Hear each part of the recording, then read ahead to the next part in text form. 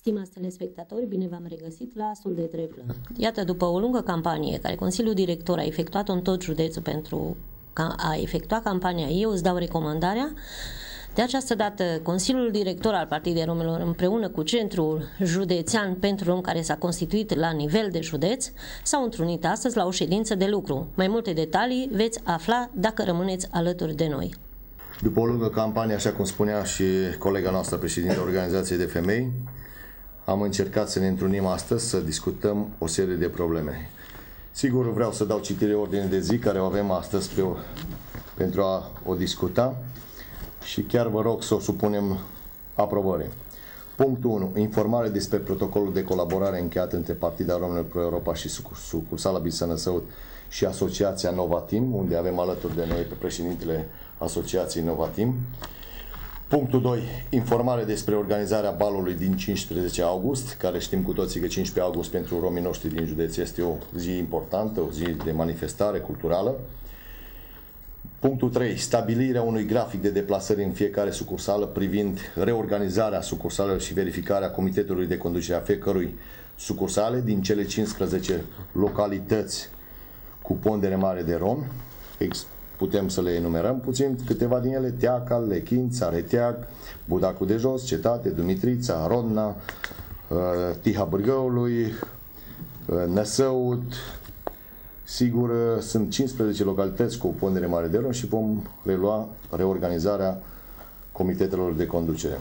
Punctul 4. Informa despre cursul de scriere și proiecte a președintelor organizației de tineret la care a participat în perioada 21-23 mai la Cluj. Sigur, președintele organizației de tineret, domnul Lăcătuș Adrian, ne va da câteva informări ce a făcut la Cluj. Punctul 5. Formarea echipei de scriere de, de proiecte la Centrul Județean Bistrița Său, de aici, așa cum spuneam de fiecare dată, Partida Română are mulți tineri, mulți uh, cu studii superioare.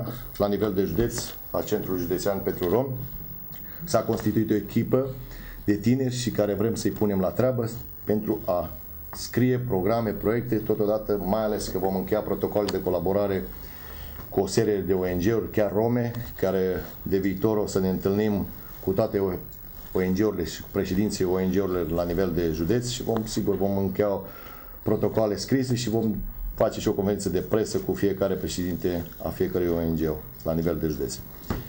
Uh, punctul 6. Raport de activitate a fiecărui președinte din sucursală la sfârșit de lună, președinte, municipiu, tineret, femei și comune. Sigur, așa cum spuneam de fiecare dată, Partida Romilor și Centrul Județean al Romilor se întrunește la nivel de județ, odată pe lună sau de două ori sau ori de câte ori este nevoie și la sfârșit de lună fiecare președinte, începând de la municipiu, tineret, femei, comună, la sfârșit de lună, când se va întruni la sediu central, va prezenta un raport de activitate fiecare uh, spre centru. Punctul 7. Stabilirea unui regulament de ordine interioare care vom discuta în Consiliul Director al Partidei Romilor. Pormă, punctul 8. Informare despre campania Eu îți dau recomandarea, situația recomandărilor care s-au dat, să vedem exact, facem un bilanț, să vedem prin campania care am făcut-o de o lună jumate, să vedem ce rezultate avem, câte recomandări am dat la nivel de județ prin toate școlile, să tragem linie, să vedem câte recomandări am dat la facultăți. Până la ora actuală așteptăm cei care își vor lua bacul să vină pe urmă spre Partida Română să facem să le dăm și la celor, așa cum spuneam de fiecare dată, recomandarea să dă pe propria răspundere pe o declarație și pe urmă să vedem un pic stagiul prin, așa cum spuneam de fiecare dată, cei care s-au înscris copii în clasa 1, să vedem o situație reală prin campania noastră, prin comunități care am făcut-o, să vedem dacă au perceput romii noștri din comune, dacă și-au scris copiii la școală, la grădiniță și așa mai departe. Punctul 9. Stabilirea de comun acord la ședințe lunare cu invitat fiind eu la fiecare ședință cu fiecare organizație. Mă refer aici la președintele organizației municipale. Fie, în fiecare lună vreau întâlniri uh, lunare cu comitetul de conducere a fiecărei, adică a organizației municipale.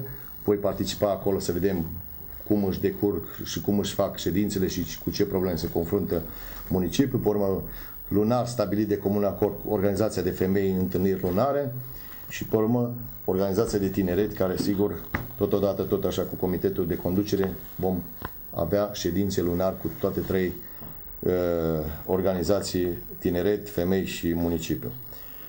Pe urmă, sigur, așa cum se știe, noi, prin conform statutului Partidului Romilor, din 2010, din ianuarie, avem uh, cotizația care am mai repetat-o și o repet, 200 de lei, 20 de lei pentru cei care sunt în conducerile la nivel de județ, 5 lei pentru membrii activi ai partidelor. Sigur, înțelegem criza, înțelegem situația de astăzi, nu e obligatoriu, nu se obligă în limita posibilităților, dar în, în primul rând accentuez pe cei uh, activi ai Partidei Romilor care sunt în funcție, mă refer aici începând de la uh, experți, profesori de limba românii, mă refer la mediatori școlari, unde e cazul, la noi nu e cazul, mediatori sanitari, profesori de limba românii, sigur, care au un salar, consilieri locali, experți din cadrul, așa cum spuneam, în cadrul primar, mă refer în primul rând la cei. Și pe urmă, sigur, și noi din conducerile în limita posibilității, nu cerem absurdul să nu înțelegem, care? În limita posibilității, aceea cotizație, pentru că,